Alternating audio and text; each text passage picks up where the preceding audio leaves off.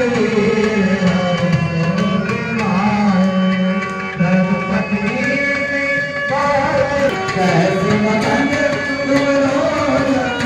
हनुमान जन्म उत्सव के उपलक्ष्य में प्रत्येक वर्ष की भांति इस वर्ष भी श्री राम बालाजी धाम बाबा नीम करोली आश्रम ट्रस्ट मुरादाबाद के तत्वावधान में नीम करौली आश्रम, ग्राम उमरी सब्जीपुर, पागवाड़ा मुरादाबाद में अखंड रामचरित मानस पाठ के शुभारंभ से पूर्व सभी देवी देवताओं का पूजन कर आवाहन किया गया और प्रभु श्री राम से हनुमान जी बाबा नीम करोली जी से प्रार्थना की गई कि सभी की मनोकामना पूर्ण करें और कार्यक्रम को सफल करने की प्रार्थना की गई। तत्पश्चात पंडित राजकुमार गोस्वामी एवं उनके सहयोगियों द्वारा पाठ का शुभारंभ किया गया। रामचरित मानस पाठ में उपस्थित रहे अनिल कुमार शर्मा, राकेश कुमार गुप्ता, डॉक्टर संदीप राज देवेंद्र सिंह बिस्ट विनित गुप्ता, गौरव अग्रवाल जयदेव यादव, विकास गुप्ता, प्रदीप गुप्ता, अश्वनी गुप्ता, पंडित पुष्पराज, परीश सक्सेना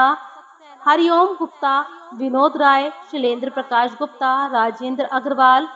अशोक सिंह, नितिन गुप्ता, पूनम शर्मा, सीमा गुप्ता, लवी गुप्ता आदि लोग मौजूद रहे।